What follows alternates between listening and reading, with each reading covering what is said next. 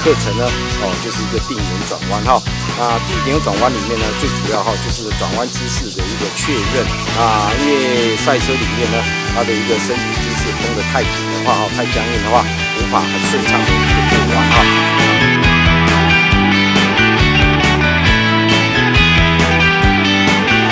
定点。转弯完了以后呢，接下来就是一个八字转弯。那除了一个转弯的姿势以外，都要结合一个转弯的要领。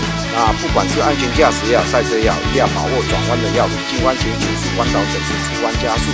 那这一个加减速的时机掌握住呢，那整个在骑车在赛道上面的安全性也会比较高哦，那车速比较快哦。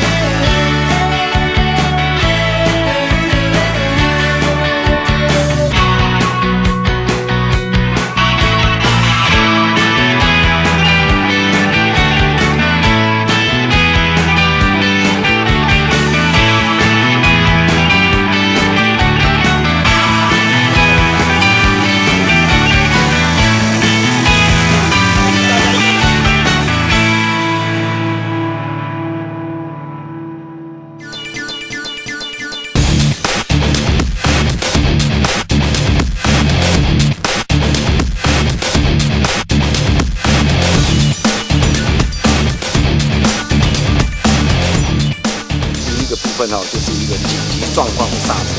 那紧急状况刹车练习呢？哦，最主要就是让它在非常短的距离之内，安定很稳定的让车速降下来之后，啊，加速的时机拉长，减速的时机缩短，发挥到车子最大的一个极限。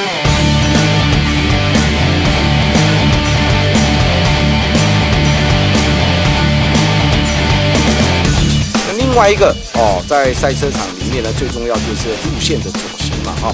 那你要把这一个车速哈，那在弯道当中里面发挥最高的一个速线里面哈，啊，就是还有一个路线的选择。当然，这一个部分呢，外内外来讲的话，它的一个车速最快的部分。